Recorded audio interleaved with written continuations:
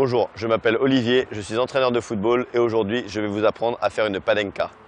La panenka est un geste très technique que l'on retrouve lors de séances de penalty ou tir au but.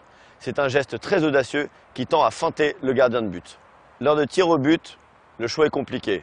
La droite, la gauche, pour le gardien comme pour l'attaquant. L'attaquant a une ultime solution, faire la panenka, geste très risqué mais qui marche très souvent. Généralement sur les tirs au but, le gardien va anticiper d'un des deux côtés. C'est pour ça que je vais utiliser la panenka, une sorte de balle piquée qui va aller au milieu du but et qui va laisser le temps au gardien de partir d'un des deux côtés. Contrairement à un penalty normal où je veux venir frapper le ballon avec l'intérieur ou le coup du pied, la panenka va nécessiter de prendre le ballon par en dessous en le balayant avec le dessus du pied.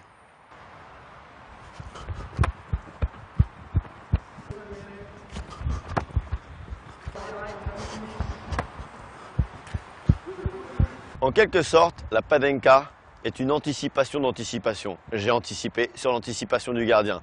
Attention aux mauvaises surprises, car si le gardien ne part pas, ce sera un mauvais résultat pour vous. Voilà, je viens de vous montrer comment faire une padenka. Retrouvez-moi dans une prochaine vidéo où je vous apprendrai le coup du sombrero.